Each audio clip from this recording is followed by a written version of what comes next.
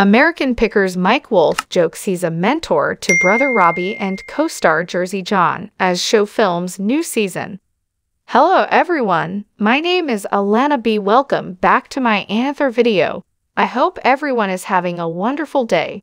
Before starting the video, please go ahead and hit the subscribe button and give this video a like a American Pickers star Mike Wolfe has shared a silly behind-the-scenes tease showing him teaching his brother Robbie and their co-star Jersey Jon the ropes of the business.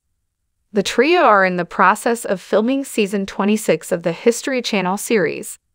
On Saturday, Mike, 60, showed his followers what the group does when the cameras aren't rolling by posting a snap of them sitting at a folding table outside their camper. Mike sat at one end of the table holding a toy army jeep, while Robbie, 63, and Jersey Jon, real name Jon Szalay, 61, looked quizzically at the tiny car. The reality star joked about the humorous scene in his caption. Blessed to be a mentor to these two crazy guys. Here I am explaining to them the particular shade of green this Tin Army Jeep toy is. They obviously thought just green, but in fact, the correct term is olive drab green, he wrote. Fans laughed at the moment, with one commenting, Robbie looks like he's sleeping. A second echoed, looks like Lil Brother's not interested. Another mocked, teach those grasshoppers. And a fourth added, haha. Both of them rolling their eyes as they read this post. American Pickers is currently airing season 25, and the cast is filming the second half of the next season on the road.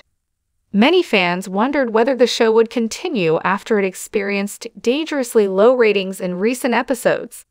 American Pickers Mike Wolfe shares pics of $1 million Nashville home renovation as he reveals final plans including new porch each of the stars, including Danielle Colby, 48, have taken on more projects away from the show, leading viewers to think it might soon end. However, despite its drop in viewership, the beloved series isn't done just yet. Last month, the U.S. Sun revealed that American Pickers has been renewed for three more years on the network. They're filming, they just got back from Louisiana, a source exclusively told the U.S. Sun. They're filming for season 26, and they have signed on for three more years, the insider added. Fans were already skeptical about the show's future after chatter circulated that Mike and Robbie wanted to call it quits.